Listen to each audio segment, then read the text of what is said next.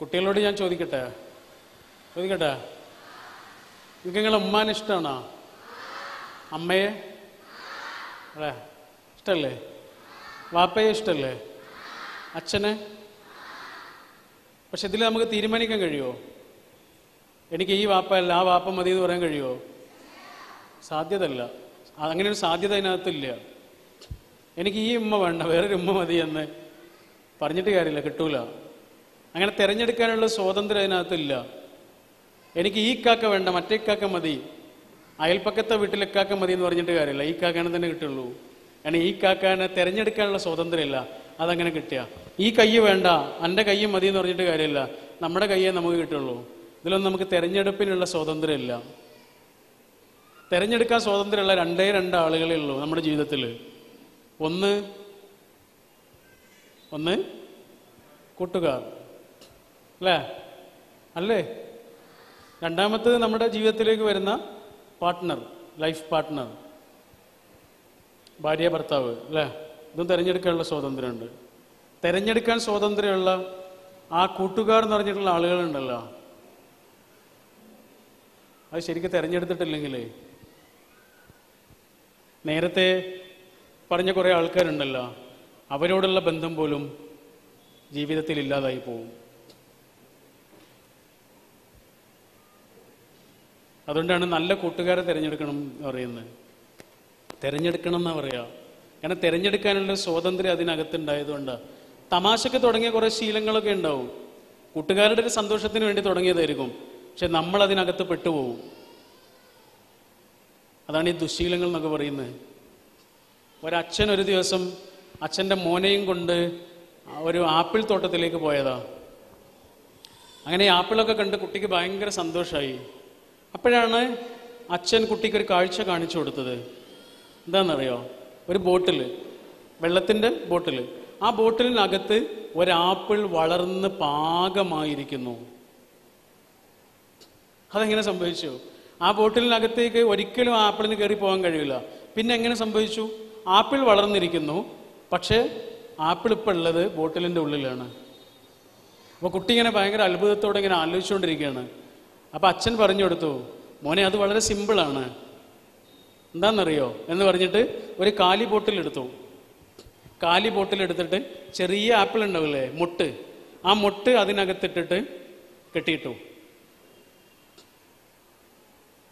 ഒരാഴ്ച കഴിഞ്ഞു പിന്നെയും അവർ വന്നു. വന്നപ്പോഴോ ബോട്ടിലിനകത്ത് ആപ്പിൾ വളർന്നിരിക്കുന്നു. സിമ്പിളാണ് അത്രയേ ഉള്ളൂ. മുട്ടാകുന്ന സമയത്ത് ഉള്ളിൽ കയറിയതാ. അതിനകത്ത് കുടുങ്ങിപ്പോയി. ഇനി ഒന്നുകിൽ ആപ്പിൾ പൊട്ടിക്കണം അല്ലെങ്കിൽ അല്ലെങ്കിൽ ആ ബോട്ടിൽ പൊട്ടിക്കണം എന്നാലേ പുറത്തെടുക്കാൻ കഴിയുള്ളൂ. ആപ്പിൾ പൊട്ടിച്ച് ബോട്ടിൽ പൊട്ടിച്ചാലേ പുറത്തേക്ക് എടുക്കാൻ കഴിയുള്ളൂ. എന്നിട്ട് അച്ഛൻ പറഞ്ഞു കൊടുത്ത കാര്യം എങ്ങനെയായിരുന്നു? മോനെ ഇതുപോലെയാണ് തെറ്റായ ശീലങ്ങളൊക്കെ. നമ്മളതിന്റെ ഉള്ളിൽ ചെറിയ കുട്ടിയാകുമ്പോഴൊക്കെ കുടുങ്ങിപ്പോവും. നമ്മൾ ചെറിയ രീതിയിൽ തുടങ്ങിയതായിരിക്കും. പക്ഷെ നമ്മൾ വളരുന്നതിനൊപ്പം ആ ശീലങ്ങൾ നമ്മുടെ കൂടെ ഇങ്ങനെ വളരാൻ തുടങ്ങും. നമ്മൾ ആ ശീലത്തിന്റെ ഉള്ളിൽ പെട്ടുപോകും. അതുകൊണ്ട് മോൻ തെറ്റായ ശീലങ്ങളിലേക്ക് പോകരുത് കേട്ടോ എന്ന് പറഞ്ഞു കൊടുത്ത്. അതിസുന്ദരമായിട്ട്. ആനന്ദ് എന്ന് പറഞ്ഞൊരു എഴുത്തുകാരനുണ്ട് മലയാളത്തിൽ. കേട്ടിട്ടുണ്ടോ ആരെങ്കിലും? ഉണ്ടോ? ആനന്ദ്. ഇന്ന് ജീവിച്ചിരിക്കുന്ന ആളാ. അദ്ദേഹത്തിന്റെ ഒരു നോവലുണ്ട് ഗോവർദ്ധന്റെ യാത്രകൾ എന്ന് പറഞ്ഞിട്ട്. അതിൽ രണ്ട് അടിമകളുണ്ട്. ഒരടിമയുടെ പേര് ഗോവർദ്ധൻ എന്നാണ്. മറ്റേ അടിമയുടെ പേര് അലി എന്നാണ്. ഈ രണ്ടാളുകളും ഒരു യജമാനന്റെ അടിമകളാണ് ഒരു ദിവസം യജമാനന് ഇവരോട് സ്നേഹം തോന്നിയിട്ട് രണ്ടാളെയും മോചിപ്പിച്ചു. രണ്ടാളെയും മോചിപ്പിച്ചു. അവർ സ്വതന്ത്രരായി ഭയങ്കര സന്തോഷമായി പക്ഷേ സ്വതന്ത്രരായതിനു ശേഷം അവർക്ക് ജീവിക്കാൻ പറ്റുന്നില്ല. കാരണം അവർ അടിമകളായി മാത്രം ജീവിച്ച ആളുകളാണ് അവർ സ്വതന്ത്രരായി എങ്ങനെ ജീവിക്കാന്ന് അവർക്ക് അറിയില്ല അങ്ങനെ അവസാനം അവരെന്താ ചെയ്യുന്നതെന്നറിയാം? യജമാനന്റെ അടുത്തേക്ക് എന്നെ തിരി തിരിച്ചു പോയിട്ട് പറഞ്ഞു ഞങ്ങൾക്ക് അടിമകളായാൽ മതി എന്ന് പറഞ്ഞു. അതാണ് അടിമത്തം.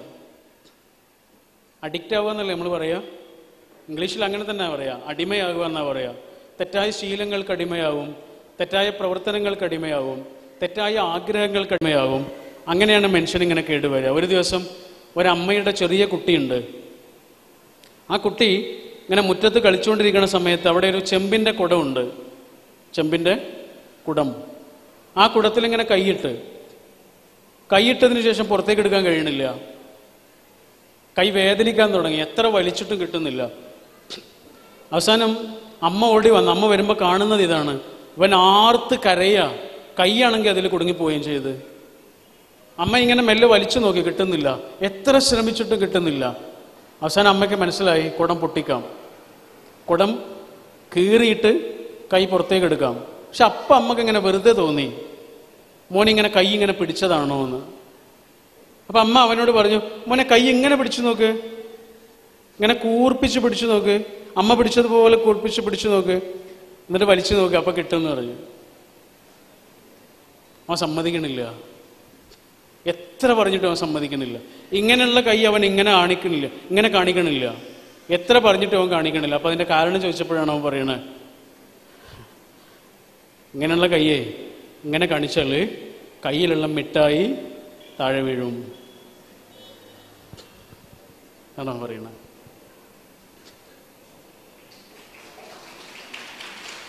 അതാണ് പറഞ്ഞത്. ഇടാത്ത മിഠായിയുടെ പേരാണ് ദുശീലങ്ങൾ. അത് വിടൂല. എത്ര തന്നെ അപമാനങ്ങൾ വരുമെന്നറിയോ നിങ്ങൾക്ക്? എത്രയൊക്കെ ആളുകളുടെ ആളുകളുടെ വെറുപ്പ് സമ്പാദിക്കേണ്ടി വരുമെന്നറിയോ? എത്ര ആളുകളുടെ പിന്നെ ഇകഴ്ത്തൽ പരസ്പരം നമ്മളെക്കുറിച്ച് പറയുന്നത് എത്ര ആളുകൾ പറയുമെന്നറിയോ? നമ്മുടെ ഉപ്പ നമ്മുടെ ഉമ്മ എത്ര നല്ല മനുഷ്യന്മാരാ. ആ ചെറുക്കൻ അങ്ങനെ ആയിപ്പോയല്ലോ എന്നൊക്കെ ആലോചിച്ചിട്ട് ആളുകൾ ഇങ്ങനെ പറയുകയൊക്കെ ചെയ്യും. അതൊക്കെ നമുക്കറിയാം അങ്ങനെയൊക്കെ പറയും. എന്നാൽ ഈ കയ്യിലുള്ള മിഠായി താഴെ ഇടൂല ചില മനുഷ്യന്മാർ അതാണ് ഈ അടിമത്തം. നമ്മളതിനങ്ങ് അടിമയായി പോവുക ചെയ്യുക. അതുകൊണ്ടാണ് തെറ്റായ ശീലങ്ങളിലേക്ക് കുടുങ്ങരുത് കേട്ടോ എന്ന് മക്കളോട് നമ്മളിങ്ങനെ പറയേണ്ടി വരുന്നത്. A P J Abdul Kalam പറയുന്നുണ്ട് നമ്മുടെ ഭാവിയെ നമുക്ക് മാറ്റാൻ കഴിയില്ല. കഴിയില്ലല്ലോ. നമ്മുടെ ഭാവിയെ നമുക്ക് മാറ്റാൻ കഴിയില്ല. പക്ഷെ നമ്മുടെ ശീലങ്ങളെ നമുക്ക് മാറ്റാൻ കഴിയും. അത് ഇന്നുള്ളതാ. ഇന്നുള്ള നമ്മുടെ ശീലങ്ങളെ നമുക്ക് മാറ്റാൻ കഴിയും. ഈ ശീലങ്ങൾക്ക് നമ്മുടെ ഭാവിയെ മാറ്റാൻ കഴിയും. വളരെ ശരിയാ. നമുക്ക് ഭാവിയെ മാറ്റാൻ കഴിയില്ല പക്ഷെ നമുക്ക് ശീലങ്ങളെ മാറ്റാൻ കഴിയും. ശീലങ്ങൾക്ക് നമ്മുടെ ഭാവിയെ മാറ്റാൻ കഴിയും എന്ന്. നമ്മൾ പറഞ്ഞത് നമ്മുടെ ഒരു ലക്ഷ്യത്തിൽ നിന്ന് എയിമിൽ നിന്ന് നമ്മളെ പിന്തിരിപ്പിക്കുന്ന കാര്യങ്ങളൊക്കെ കുറേ ഉണ്ടാവും. അതിൽ നിന്ന് അതിനെ ഒരാൾ എത്ര ശ്രദ്ധയോടെ കരുതലോടെ പേടിക്കുന്നുണ്ട് എന്നുള്ളതാണ് പ്രധാനം. ഒരു കള്ളനെ മോഷണത്തിന് വേണ്ടി ഒരു വീട്ടിലേക്ക് വരുമ്പോൾ അയാളുടെ ഏറ്റവും വലിയ പേടി എന്തായിരിക്കും എന്നറിയാം? ആ വീട്ടിലെ നായയായിരിക്കും. കാരണം ഈ ആൾ വരുന്നുണ്ട് എന്ന് അറിയുന്നതോടുകൂടി നായ കുറയ്ക്കാൻ തുടങ്ങും. അതോടെ വീട്ട് അതോടുകൂടി ഉണരും. വീട്ടുകാർ ഉണരും. ഇയാളുടെ പരിപാടി നടക്കൂല. അതുകൊണ്ട് അയാൾക്ക് ഏറ്റവും വലിയ പേടി ഉണ്ടാവുക നായയായിരിക്കും. അതുകൊണ്ട് ഇയാൾ എന്താ ചെയ്യാന്നറിയോ? വരുമ്പോൾ തന്നെ നായക്ക് കൊടുക്കാൻ ഒരിറച്ചി കഷ്ണമായിട്ടാണ് വരിക. നായക്ക് കൊടുക്കാൻ ഒരിറച്ചി കഷ്ണമായിട്ടാണ് വരിക. എന്നിട്ട് നേരെ അയാൾ വന്നിട്ട് ആ കൂട്ടിലേക്ക് ഇറച്ചി കഷ്ണം ഇടും. നായക്ക് ഭയങ്കര സന്തോഷമായി. എന്ത് സ്നേഹമുള്ള കള്ളൻ.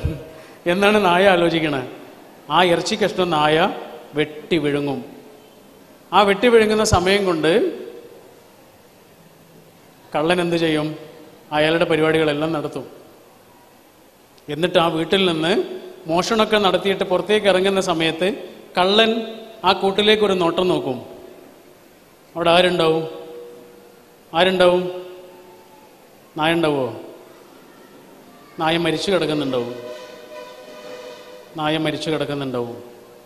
കാരണം കള്ളൻ കൊടുത്തത് ഒരു ഇറച്ചി കഷ്ണം മാത്രമായിരുന്നില്ല.